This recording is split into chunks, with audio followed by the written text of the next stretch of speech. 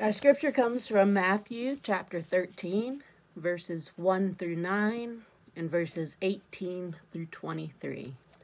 It's Matthew 13, beginning with the first verse.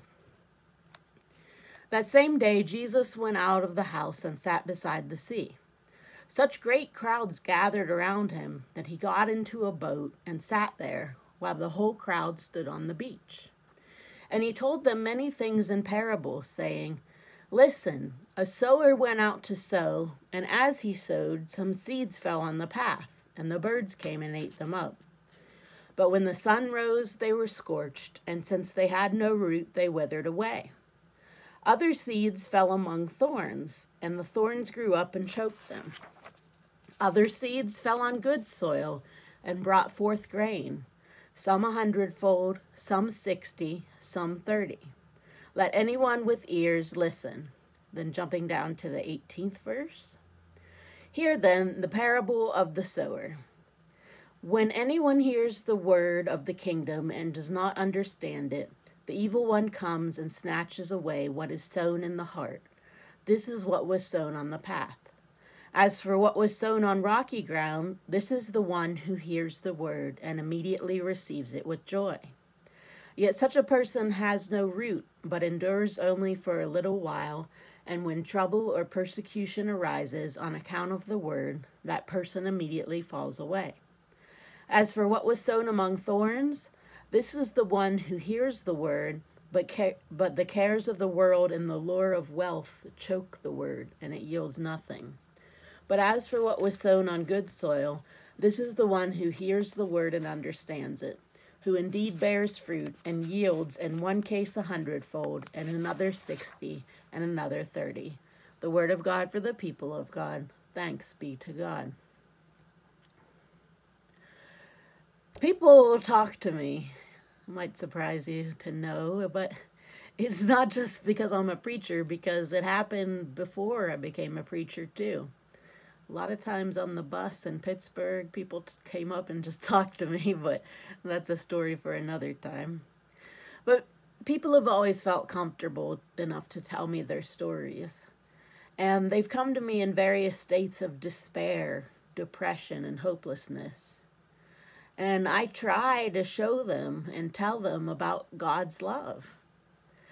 I remember when I went on a work trip to an Indian pueblo in New Mexico one year, and I had the opportunity to talk at length with an Indian man named Clarence as we worked together building a greenhouse.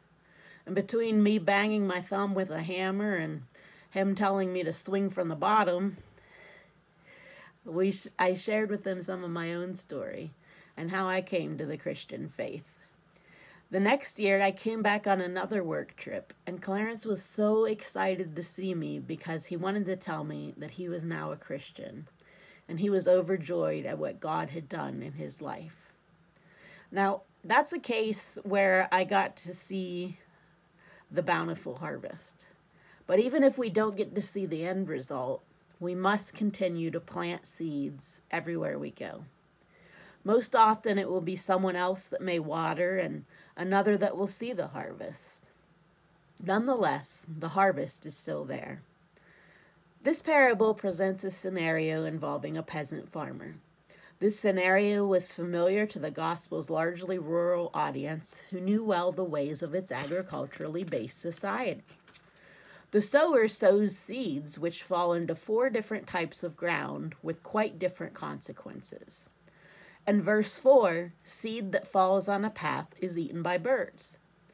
In verses 5 to 6 seed that falls among rocks sprouts quickly, but lacking depth of soil, dries up in the sun.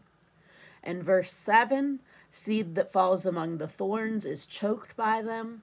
But in verse 8, we see the seed that falls into good soil and produces an abundant crop.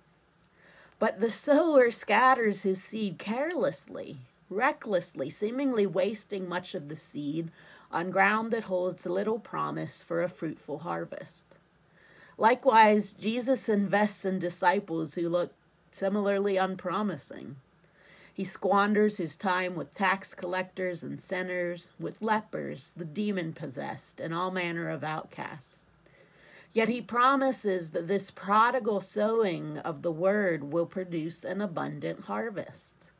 We must share the word with people like and different from us. Today's passage doesn't make sense when it comes to efficiency. The sower is extravagant with the seeds he plants. Seeds here, seeds there, seeds everywhere. That just seems like poor planning. Given today's economy, that's just wasteful. By today's farming practices, it's inefficient. With the cost of seeds and the time spent sowing, it may not even be profitable. These are not, however, the sower's concerns. There are concerns. Thankfully, this parable is about God's faithfulness and not about farming, soil quality, or how things work in this world. In the sower's world, wastefulness gives way to hope, and efficiency to love, and profitability to generosity. Think of how many of Jesus' parables spoke about waste. There was the shepherd who risked the welfare of the 99 sheep just to find that one lost sheep. A man gives an invitation to a banquet, but all those invited rudely refuse to attend. There was the Samaritan who gave all he had to bandage the wounds of a man lying in the ditch whom he did not even know. What are these parables if not parables of extravagance, recklessness, and waste? And what could be more wasteful than for Jesus to lay his life down for people like us? But boy, I'm glad he did, aren't you? If there's any hope for the unproductive soil, it's that the sower keeps sowing generously, extravagantly, even in the least promising places. Jesus' investment in his disciples shows that he will simply not give up on them in spite of their many failings. And we trust that He will not give up on us either, but will keep working on whatever is hardened, rocky, or thorny within and among us. It takes time for many of us to realize that we need God at the center of our life. As different as the four soils are, they all hold two things in common seeds and the sower. The sower sows the same seeds in all four soils with equal toil equal hope, and equal generosity. The sower does so without evaluation of the soil's quality or potential. There is no soil left unsown. No ground is declared undeserving of the sower's seeds. This is not about the quality of dirt, it's about the quality of God, the divine sower. We want to judge what kind of dirt we are are we 40 cents a day dirt or $400 a day dirt? God simply wants to sow his life in ours. No life, no person, no soil is left unsown. Jesus did say that most of the seed went to waste. But some of the seed, wonder of wonders, took root, grew, and brought forth 30, 60, 100 times a rich reward. The parable ends in joy, celebration of great harvests. Jesus promises that our work, his word, the church's witness are not in vain. As those entrusted with Jesus' mission today, we need to think about what this means for us as we go out in mission. Too often we're playing it safe and we're spreading the word only where we think it will be received, or only where we think the people are going to become contributing members. In the name of stewardship, we hold tightly to our resources, wanting to make sure nothing is wasted. We end up stifling creativity and energy for mission by resisting new ideas, being afraid they're not going to work. Is that the worst thing in the world? If failure failure? Is it to be avoided at all costs? Well, this is the point.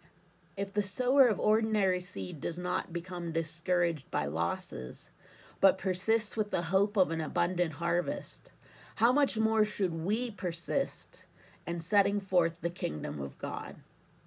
Someone saw fit to, to sow seed so that we could be blessed to be Christians so that we could have churches where we do in our communities.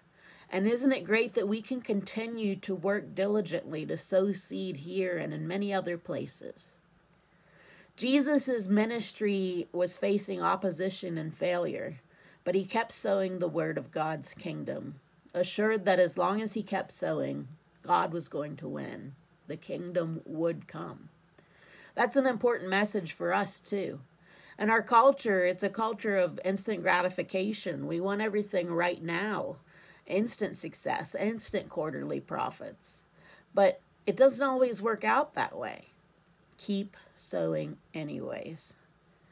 Jesus' approach to mission challenges our play it safe instincts, but he gives us freedom to take risks for the sake of, go- of the gospel and he endorses extravagant generosity in sowing the word, even in dangerous places. And though we may wonder about the wisdom or the efficiency of his methods, Jesus promises that the end result will be a great harvest. God is love, and love is generous, lavish, abundant, eager to share what is good. God won't withhold the word from anyone God won't deny anyone access to the good news. I heard a story of a young man who was addicted to drugs and alcohol since he was a young teen. And he ended up in a halfway house, not of his own choosing. But he decided to go to church one day. And a 95 year old woman befriended him. Lest you think Lest we think that we can't do it, a 95 year old woman reached out. And she befriended this man, and this man said that was the first time anyone ever treated him like he was a real person, like he was human, like he was worthy to be loved. And that changed everything.